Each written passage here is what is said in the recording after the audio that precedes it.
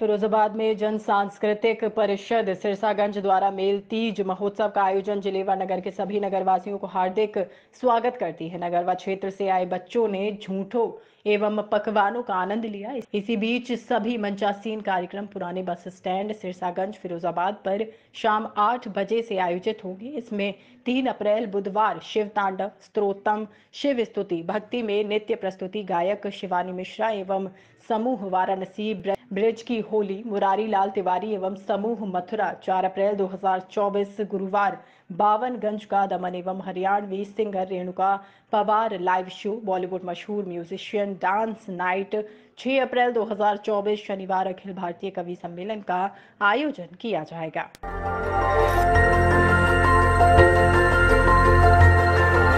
देखते रहिए डीबी भारती समाचार, नज़र हर खबर पर।